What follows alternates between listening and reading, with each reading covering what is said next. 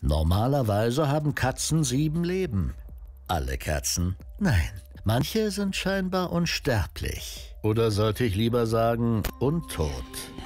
1337 brachte ein fränkischer Kaufmann von seiner Reise nach Ägypten eine Katze mit nach Hause. Der damalige Lehnsherr starb eine Woche später an einer mysteriösen Krankheit. Die Legende besagt, die Katze hätte sich nachts auf das Gesicht des Mannes gelegt und seine Seele eingeatmet.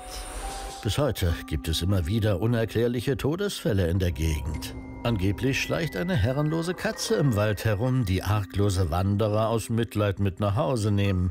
Man findet sie dann kurz darauf in ihrem Bett. Mit weit aufgerissenen, angstvollen, starren Augen und schlohweißen Haaren. Miau. Wo sie wohl jetzt gerade wieder rumschleicht? Die unsterbliche Katze von Bogen.